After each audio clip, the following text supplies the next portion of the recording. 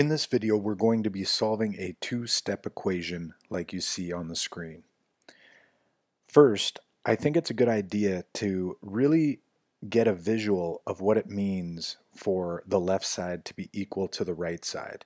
So in this case, I'm, I'm just going to use these blue boxes to show that literally everything on the left side should have an equal value to that on the right side.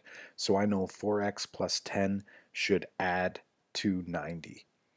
Now we can break this down further. Since I know I have a 4x plus 10 on the left side, then technically I have a something plus 10 on the right side. Because we have 90 on the right side, I could break that down and make it look something like this. 80 plus 10 is 90. Now, we know that 80 is much bigger than 10. It's actually 8 times bigger. So let's just make this look a little bit closer to scale. I know it's not to scale, but it'll give us a, a better visual that 4 x's actually equal 80 and 10 equals 10.